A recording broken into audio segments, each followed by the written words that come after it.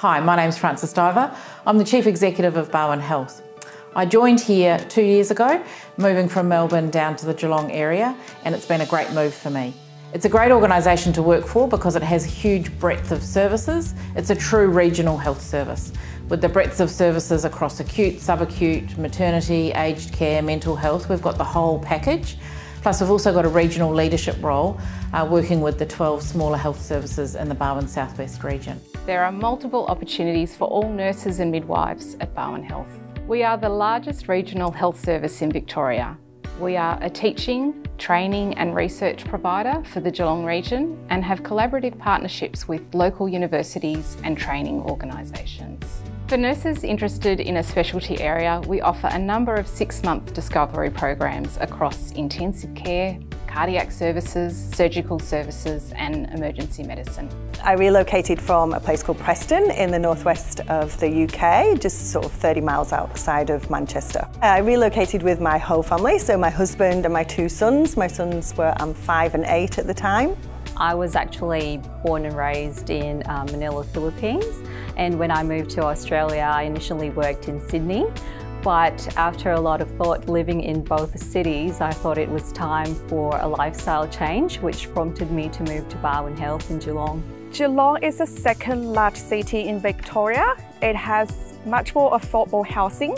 It's not as congested as other cities and has great healthcare and wonderful schools. Well, Geelong's a beautiful town and uh, you know, I love to uh, ride my motorbike down the Great Ocean Road, down the Lorne. Um, it's, a, it's, a, nice day trip. I am from New Zealand, so I've just recently moved across the ditch. And what really enticed me and um, invited me to move across um, with Barwon Health is because of the fact the interview went really, really well. Um, even though it was just a Zoom interview, it was, I felt the warmth of the interview. It was relaxed, it was laid back, and um, I felt like I was part of the family already, even, I was, even though I was just being interviewed. So I love that it's, it is a lot more laid back than where I come from in the UK. I love the fact that we have patient ratios for the staff here, which is something that we lack in the UK as well. So I completed my graduate year six months in community and six months in oncology and I've just completed a specialist year in community. So have started an ongoing contract and I'm preceptoring the new grad. So I would say that's pretty good career opportunities. so I was actually able to hone my scrub scout nursing skills more so in the cardiac and cardiothoracic surgical speciality and because um, we have such a very supportive environment and you get to train and learn alongside very, very experienced nurses. It's such a good place to work in. So far I've been exposed to a lot of opportunities. When I first moved back to Barwon Health, I started on the acute nursing pool.